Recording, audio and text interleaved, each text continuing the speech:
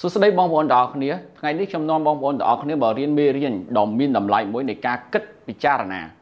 មេរៀនមួយនេះនឹងធ្វើឲ្យបងប្អូនទាំងអស់គ្នាយល់ដឹងអំពីសង្គមនៃការគិតរបស់បងប្អូនទាំងអស់គ្នាថាតើបងប្អូនគួរតែរស់នៅនៅក្នុងលក្ខន្តិកៈបែបណា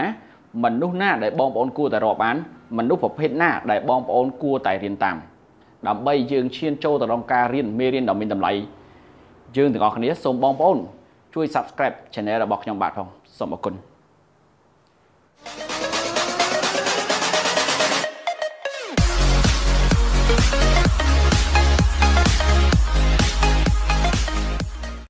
សួស្តីបងប្អូនទាំងអស់គ្នាថ្ងៃនេះខ្ញុំបន្តនៅមេរៀនថ្មីមួយដែលនិយាយអំពីការរៀនឲ្យយល់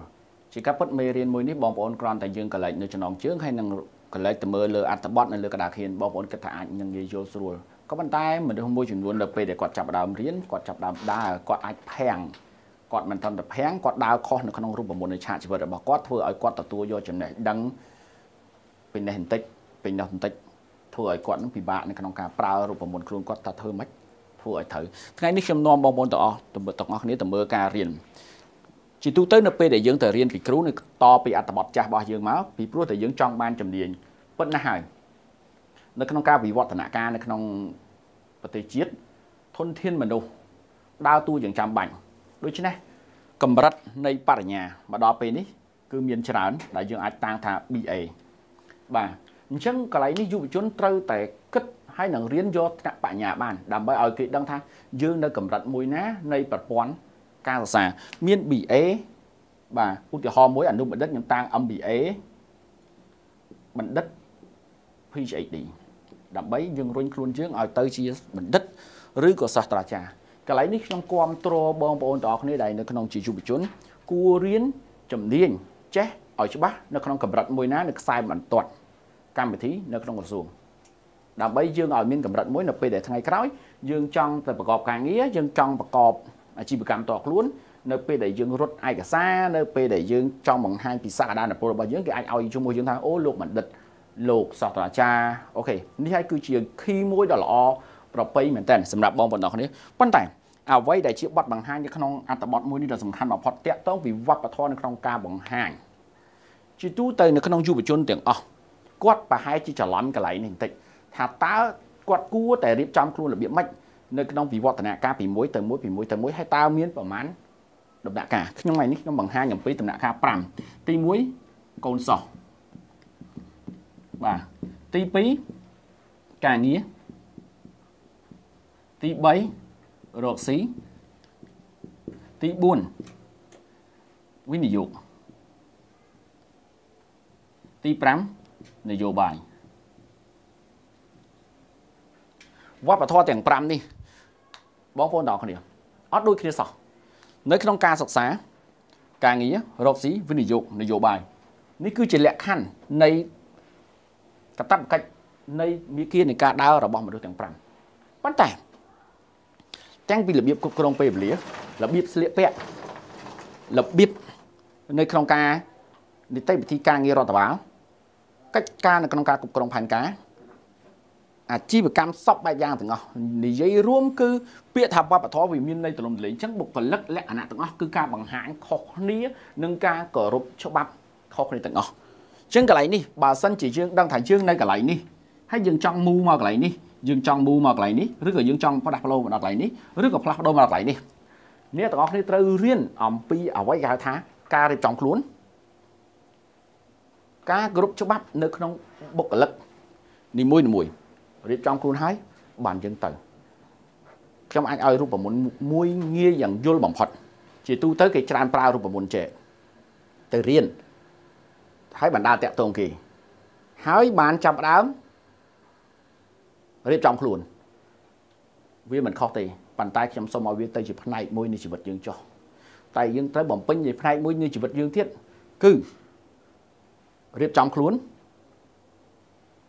តំណាក់តំណង ហើយរៀនទៅលើការតំណាក់តំណងនោះនេះគឺជាការបំពេញនៃផ្នែកនៃជីវិតមួយទៀតធ្វើឲ្យយើងបានល្អរៀបចំខ្លួនសិនបានយើងទៅតំណាក់តំណងមនុស្សណាដែលយើងចង់តាក់ទងហើយបានយើងរៀនទៅលើអ្វីដែលយើងទទួលបានពីការតំណាក់តំណងរបស់យើងមួយទៀតចំណុចមួយនេះគឺចំណុចសំខាន់បំផុតមនុស្សមួយចំនួនដែលតែងតែសួរថាតើជោគជ័យនេះនៅកន្លែងណាបាទជោគជ័យនៅកន្លែងណាហើយតើអ្នកជោគជ័យនិងអ្នកបរាជ័យ ខុសគ្នាយ៉ាងម៉េចជាការពិតណាស់អ្នកជោគជ័យនិងអ្នកបរាជ័យបើយើងយកអវយវៈខ្លួននិងដងខ្លួនរបស់មនុស្សយកមកដាក់អូកន្លែងខុសគ្នាអត់ឃើញទេជាពិសេសបងប្អូនដែលកំពុងតែមើលហ្នឹងក៏ក៏ក៏ពិចារណាដែរអូកន្លែងខុសគ្នាអត់ឃើញទេគេមានភ្នែកយើងមានភ្នែកគេមានកាយសម្បទាកាយសម្បទាគេមានការគិតការគិតអញ្ចឹងកន្លែងនេះហើយគឺគឺគឺអត់មានកន្លែងណាដែលបែងចែកថាខុសគ្នាទេប៉ុន្តែត្រង់តែថាអារឿងខុសគ្នានោះ ត្រង់តែថាគេមានញៀនទាំង5បាទគេមានញៀនទាំង5គេប្រើបានទៅជាពណ៌ក្រហមចេះទាំងអស់ខ្លួនគេតែយើងប្រើអត់បានទេខ្លួនរបស់យើងនៅពណ៌ខៀវឬក៏អាចនៅពណ៌ខ្មៅក្រហមរបស់យើងមានមានតិចតួចបំផុតនៅក្នុងនេះហើយក៏បានទៅរាំងស្ទះឲ្យថាការបដិសេធខ្លួនឯងក្នុងចង់ធ្វើអីមួយដូច្នេះយើងត្រូវរៀនពីខ្លួនឯងពីពីជនអវិជ្ជមានទៅជនវិជ្ជមានមួយវិញទៀតយើងត្រូវប្រើក្របភ្នែករបស់យើង ឲ្យមើលឃើញសេដ្ឋកិច្ចហិរញ្ញវត្ថុនៅក្នុងតំបន់ទីផ្សាររបស់យើងយើងទៅប្រើតិចរបស់យើងដើម្បីឲ្យមើលឃើញនៅកលាវិវត្តភាពនៃវិវឌ្ឍនាការឬក៏ឲ្យឃើញនៅកំហុសដែលខ្លួនឯងបានធ្វើឬក៏ឲ្យដឹងថ្លឹងថ្លែងថាអ្វីដែលយើងបានលឺមកហ្នឹងវាគឺជាចំណុចល្អឬចំណុចអាក្រក់យើងប្រើកាយសម្បទារបស់យើងឲ្យបានដើម្បីរត់ឲ្យតាន់សេដ្ឋកិច្ចយើងប្រើមាត់យើងឲ្យបានដើម្បីនិយាយក្នុងការដឹកនាំ public speak ក្នុងនាមជាអ្នកដឹកនាំ នេះហើយដែលជាចំណុចមួយអញ្ចឹងយើងប្រើពេលវេលានៅក្នុងការរៀនពីកន្លែងនេះទៅកន្លែងនេះការរៀននេះអាស្រ័យទៅលើទីប្រឹក្សាអញ្ចឹងកន្លែងនេះដែលខ្ញុំដាក់សញ្ញាបូកមុនបងប្អូនគួរតែដាក់ទីប្រឹក្សាមួយដែលមានឯកទេសក្នុងការ build HR ខ្លួនឯងបានល្អដែលទីប្រឹក្សានោះខ្ញុំអាច recruit បានយើងគួរតែយកសាស្ត្រាចារ្យគ្រូមួយឬរៀនច្បងឬគឺជាសមាជិកម្នាក់នៅក្នុងគ្រួសារប៉ុន្តែពិចារណា ទីប្រឹក្សាសូមកុំដាក់អ្នកដែលប្រកែកតែទ្រឹស្ដីតែមិនមានលទ្ធផលมันមានការអនុវត្តកុំដាក់អ្នកបានត្រឹមតែបង្ហាញនេះហើយធ្វើឲ្យបងប្អូនមិនមែនត្រឹមទៅក្រហមទេនឹងអាចធ្លាក់មកខៀវធ្លាក់ទៅខ្មៅវិញទៀតកន្លែងនេះមួយគឺខ្ញុំចង់បង្ហាញឲ្យកាន់តែច្បាស់ទៅកាន់បងប្អូនទាំងអស់គ្នាគឺប្រជុំនៅពេលដែលយើងមានក្រុមការងារហើយយើងត្រូវរៀនសូត្រអំពីនីតិវិធីក្នុងការសម្រេចចិត្ត យើងត្រូវរៀនសូត្រអំពីរដ្ឋបាលនៃការប្រជុំដើម្បីយើងសម្រេចស្មារតីអង្គប្រជុំមួយធ្វើឲ្យនីតិវិធីក្នុងការដើរនោះវាមានប្លង់ច្បាស់លាស់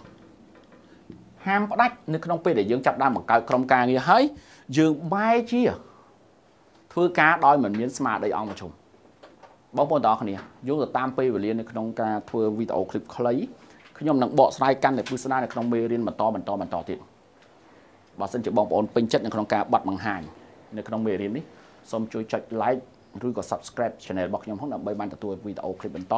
ម្យ៉ាងមួយទៀតបើសិនជាបងប្អូនមានទស្សនៈណាដែលនៅលើអត្ថបទនេះសូមបងប្អូន comment ហើយខ្ញុំនឹងយក